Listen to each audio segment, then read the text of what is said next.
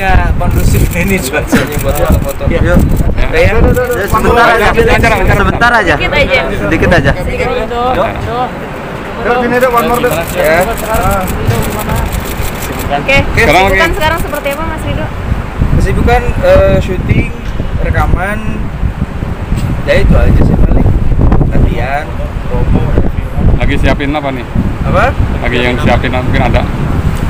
Lagi persiapan mungkin di tahun 2021. Persiapan. Mempersiapkan apa?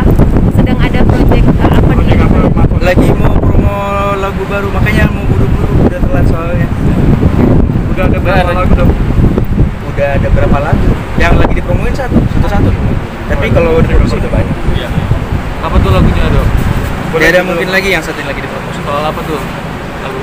Kenapa? Soal apa? Tentang Dengerin dulu lagunya pas itu. Subscribe jangan lupa asik subscribe jangan. Ya, Prosesnya kayak kayak gimana mungkin? prosesnya Ya, proses pembuatan lagunya. ya alat di masukin studio direkam terus di mixing mastering di video klip jadi Berapa lama? Berapa lama? Sampai jadi itu.